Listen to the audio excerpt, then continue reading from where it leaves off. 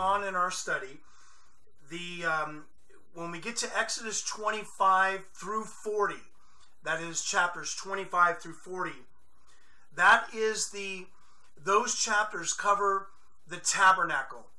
What is the tabernacle? Also, it's called the uh, sanctuary.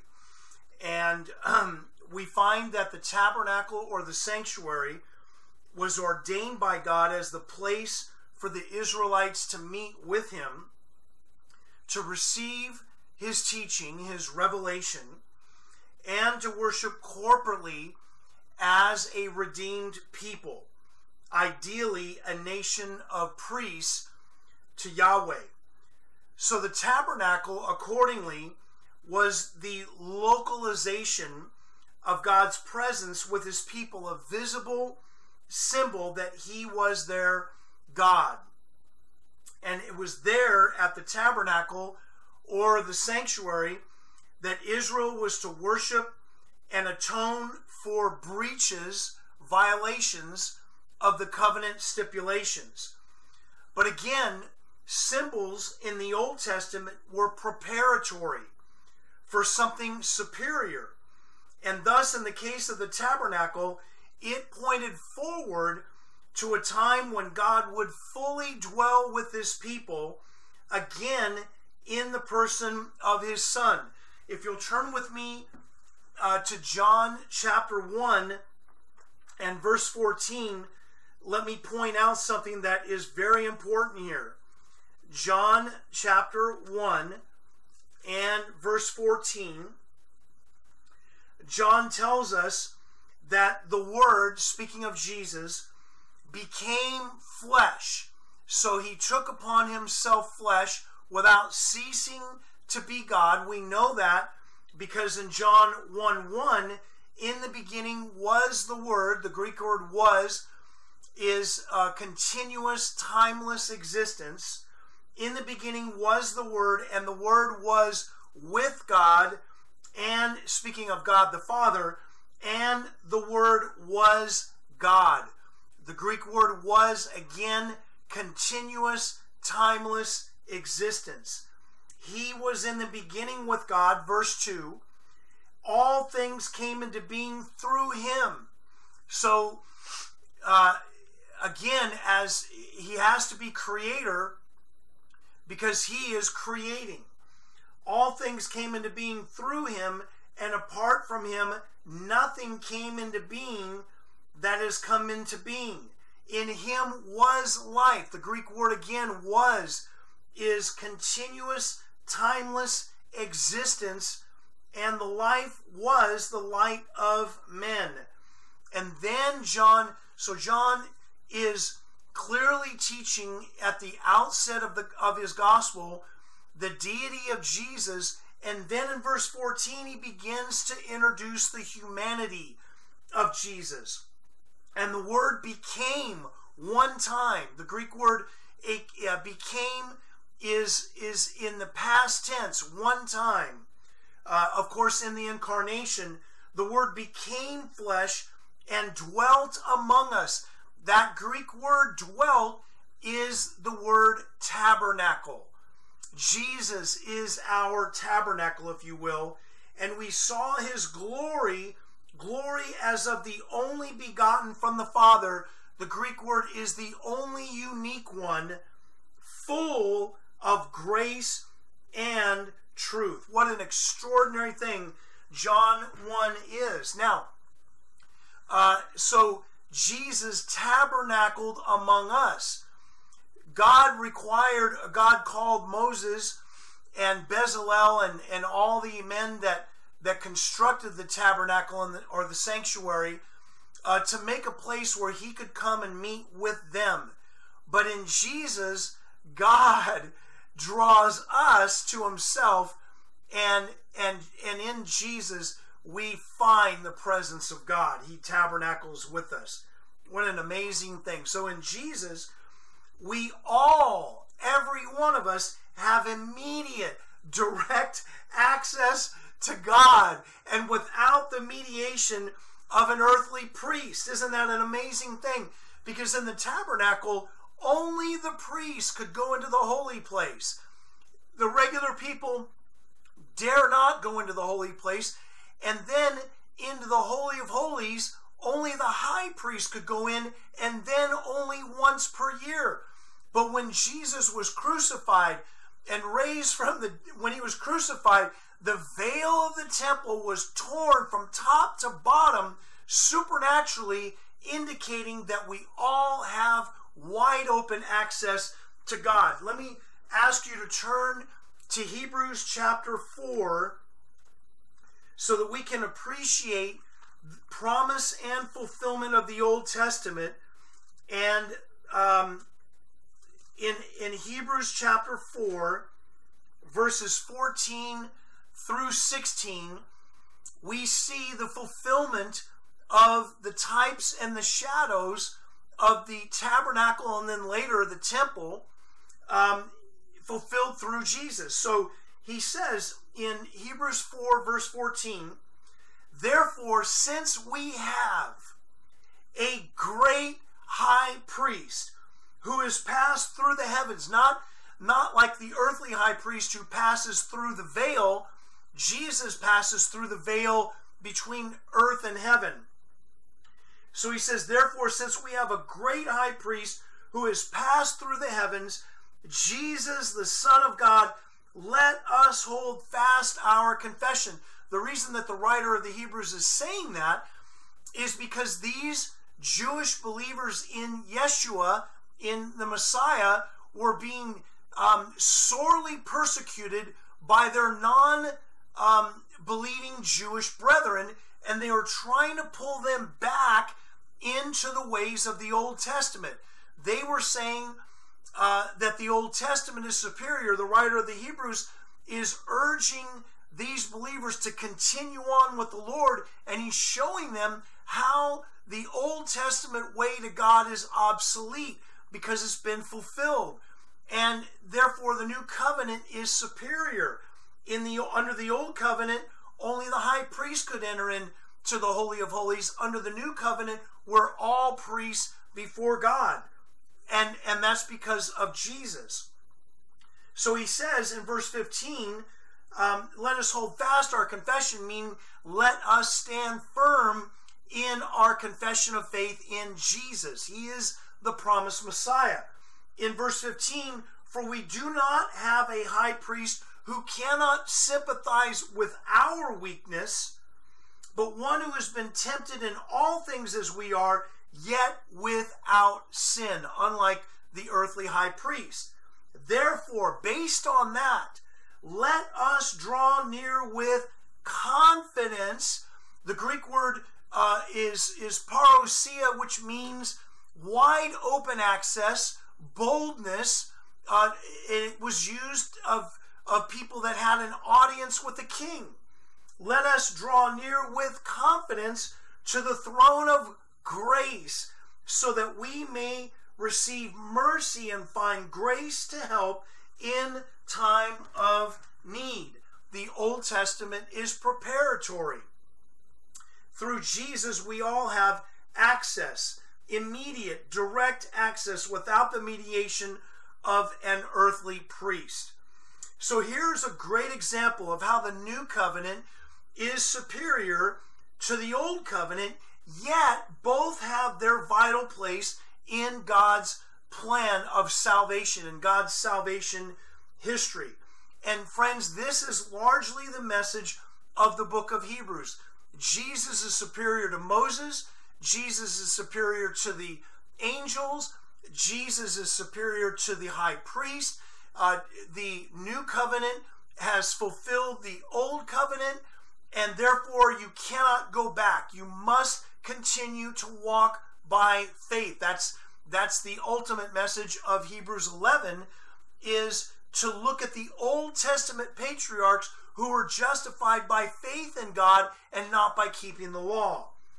So uh, again, Hebrews was written to Jewish believers in Jesus who were being intensely persecuted by their unbelieving Jewish brethren who were trying to persuade the Jewish believers in Jesus to return to the ways of the old covenant, to be justified by works, by the keeping of the law, which they were misunderstanding and misrepresenting. Now, regarding back to the tabernacle, regarding the tabernacle, Norman Geisler summarizes its earthly significance and its preparation for the deeper significance in Christ. He shows the following there was one door, hallelujah, one door or gate to the tabernacle.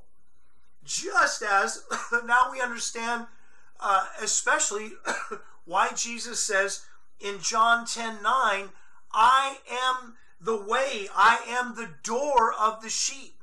Or in John 14 6, I am the way, the truth, and the life. No one comes to the Father except through me.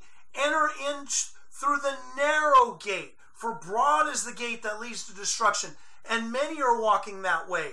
But narrow is the gate that leads to eternal life. Jesus, over and over and over, is making the claim that he is the only way to the Father, and the historical background of that, which the Jews would have understood, is there was only one entrance into the tabernacle and one exit out of the tabernacle. Isn't that wonderful? Then the brazen altar taught the necessity of a substitution for sin. The, the sinner would bring in a blameless, um, uh, an animal without any defect, lay his hand on the neck of the animal to symbolize that he should be the one that has his throat slit for his own sin. But in the mercy of God, God provides a substitutionary animal, a substitutionary sacrifice, so that the man understands that without the shedding of blood, there is no forgiveness of sin. And yet they had to repeat those sacrifices over and over and over. And that was preparatory for the Lamb of God who takes away the sin of the world. Again, the brazen altar taught the necessity of a substitution for sin. The sacrificial animal stood in the place of the worshiper, just like Jesus. Hallelujah. Stood in our place on the cross and he received the sacrifice. He became the sacrifice for your sins and my sins and the sins of every single person throughout the continent of Africa, all 52 nations that ever lived in Africa, that ever will live in Africa, and all the people throughout the United States. Jesus bore our our shame and our, the penalty due us and the wrath of God that is rightly due to us. He took upon himself and allows us to go free. Can you give him a shout of praise? Hallelujah. Praise the Lord. Hallelujah. For the Lamb of God is worthy of our worship and our devotion. Amen and amen. Praise the Lord. Hallelujah. Can I hear a shout of praise in your midst right now? Praise the Lord. But friends, those people throughout Siaya need to hear this message. They need to hear it in Kenya. They need to know that God died for them and loves them and cares for them and wants to forgive them of their sins. And only through genuine love and, and, and care and concern will they hear what we have to say.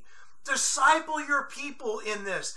Disciple your people in an increasing love for the lost, to serve them, to bless them, to pray for them, to trust God for miracles for them, so that He can show Himself strong to the unsaved. Amen. Hallelujah. Praise the Lord. I wish I was with you right now. So, so Jesus is our ultimate substitutionary sacrifice. Praise God. He made him who knew no sin to become sin on our behalf that we might become the righteousness of God in him. Second Corinthians chapter 5 verse 21. Um, let's look at Romans chapter 3 and verses 23 through 25. Romans chapter 3 verses 23 through 25. Praise the Lord. Opak Ruoth. Buana sefiwe opaki Yesu. Bi rojo maler. Amen. Hallelujah. Romans chapter 3. Uh, let's let's read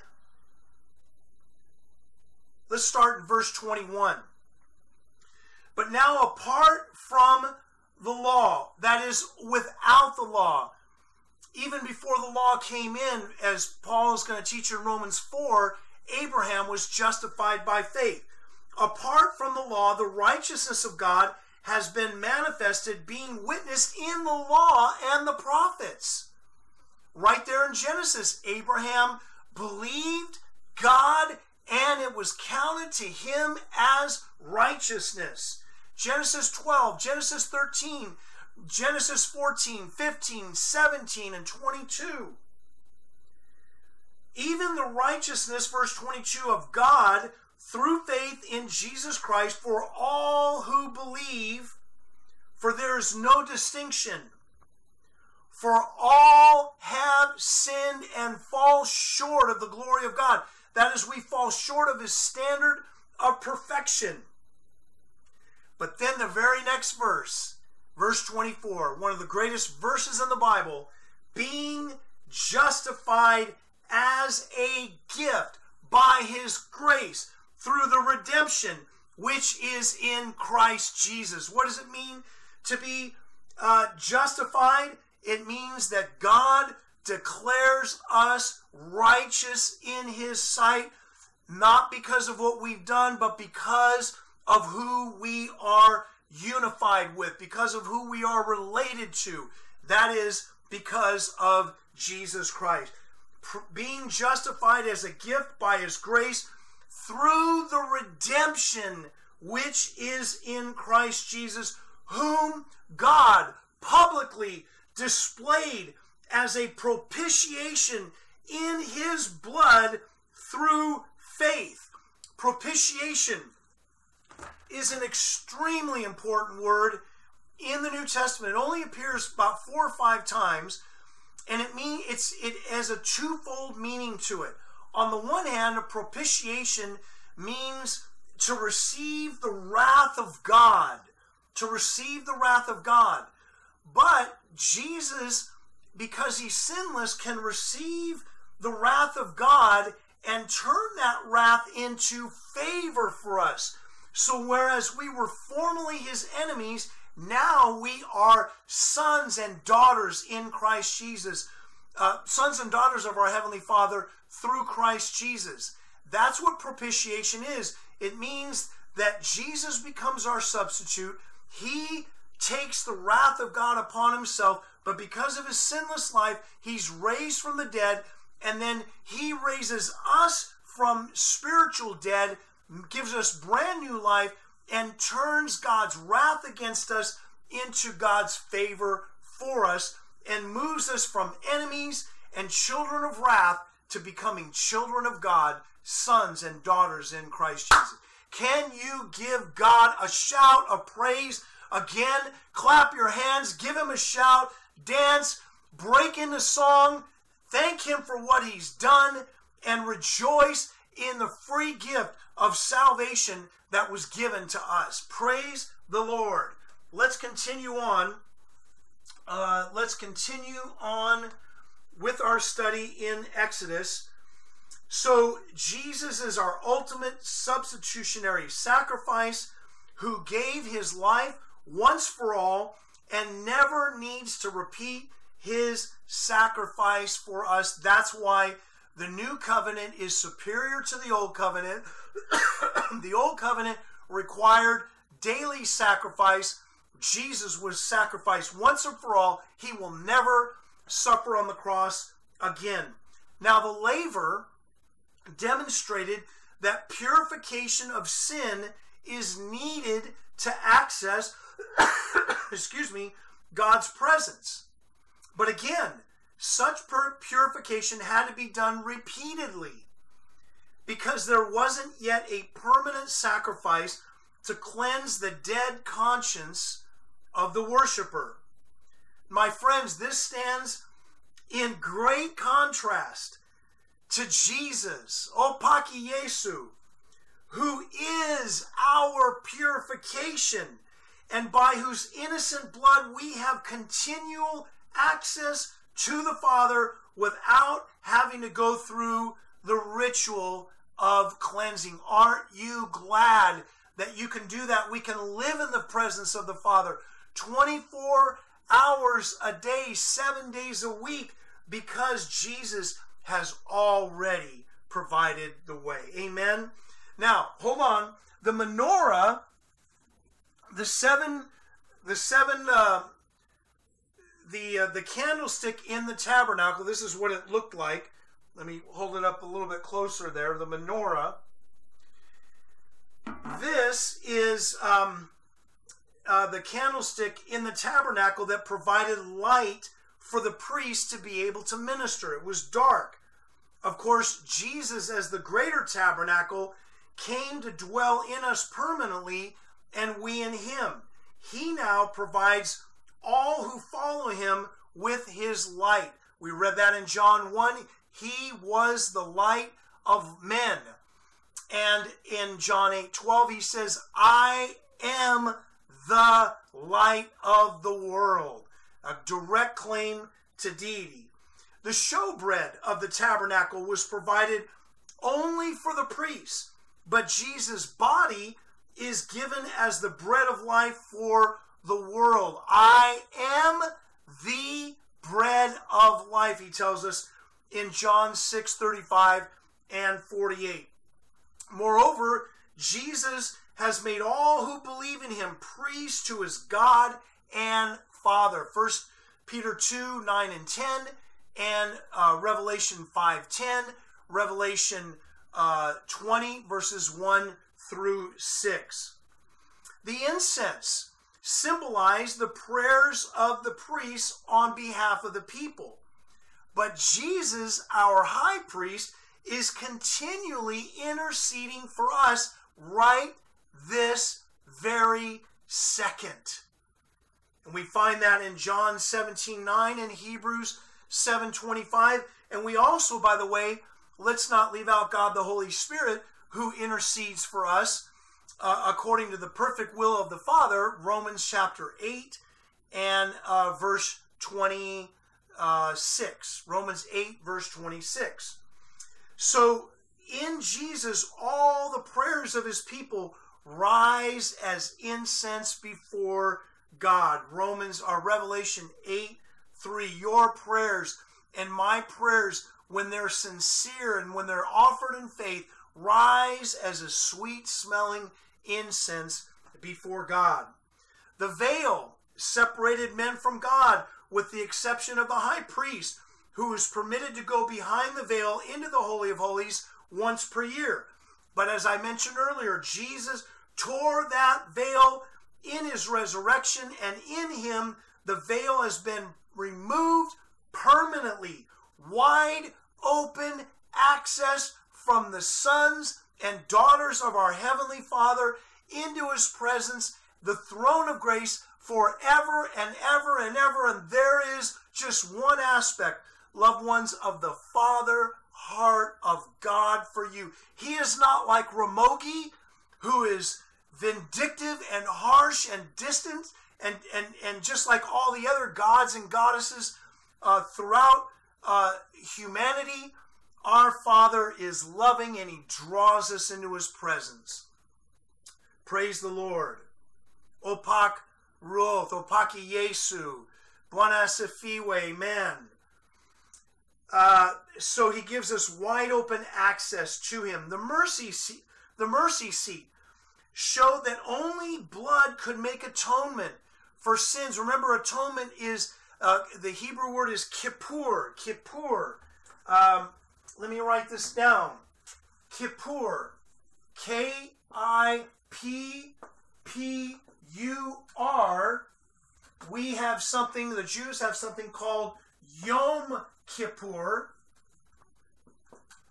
which Yom is day, Kippur is covering or Day of Atonement. That's the one day uh, uh, uh, throughout the year where the sins of the nation, uh, the sins of the nation are atoned for through the Lamb, the sacrifice of the Lamb. Jesus is our Kippur. He is our covering. He is our atonement who washes us clean from our sin. Jesus is our mercy seat. So again, the mercy seat showed that only blood could make atonement for our sins, but that it had to be continually offered and sprinkled to cover for our sins. Now, Jesus is our propitiation. There's that word again. Um, he is our mercy seat. When, when we repent of our sins, God looks at what Jesus has already done, and the blood of Jesus cleanses us from all unrighteousness. His blood covers our sin forevermore. It cleanses our conscience daily. His blood is so powerful that it covers God's wrath against us and turns that wrath into his favor for us, who are now his sons and daughters. And again, that's the definition of propitiation. Wow, are we blessed or what? Nyasai bear, Nyasai duong. Amen. God is good, God is great. The tabernacle was an identification of God's presence for Israel. Exodus 40, verse 34. It was an illustration of his plan for salvation for the world. Hebrews 9, verses 9 through 11. It was an incarnation of God, the Son, for his people. John 1:14. We already went over that. And it was a prefiguration of the pattern of God's dwelling in heaven. Hebrews 9, 23 and 24, Revelation 4 and 5. There's a tabernacle in heaven. And the tabernacle on earth was only to be a model of the tabernacle in heaven. Friends, the Egyptians worshiped in many temples because they had many gods. Significantly, Israel had only one sanctuary. Why? You know, because there's only one God. They worshiped one God. A very important part of religion in Israel was the priesthood. For orderly ministration and effective worship, God designated Aaron, Moses' brother, to serve as high priest during Israel's journey through the wilderness. The Levites assisted the priests, and they were chosen as substitutes for the eldest son in each family.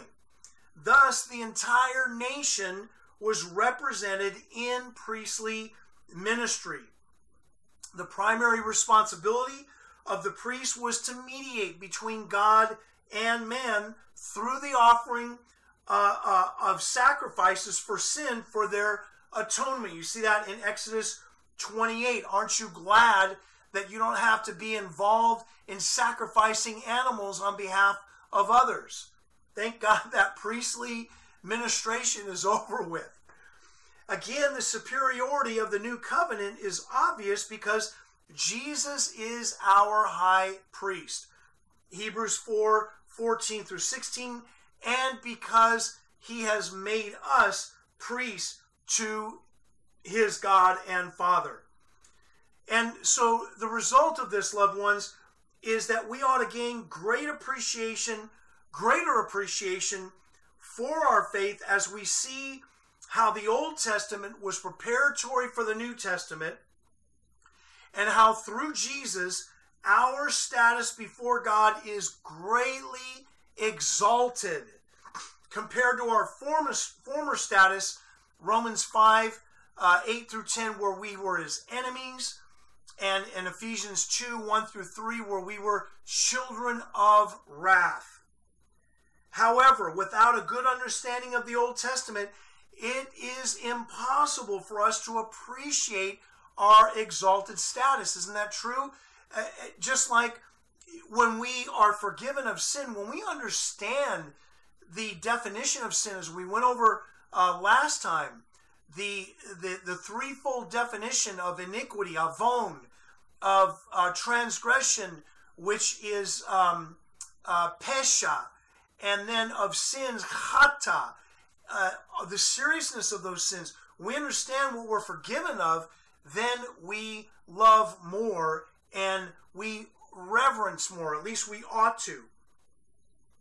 So the priests were also responsible to discern the will of God for the people. We find that in Numbers and Deuteronomy. However, under the new covenant, all believers know God directly. John 6 45. Accordingly, they and we can and must pray for discernment for ourselves and for other believers and expect God to reveal his will to us. One of my favorite prayers uh, that Paul prays for the believers in Philippi is in Philippians 1 9 through 11. I'm going to pray that now uh, for myself and for you, and I urge you to pray it for yourself and for others.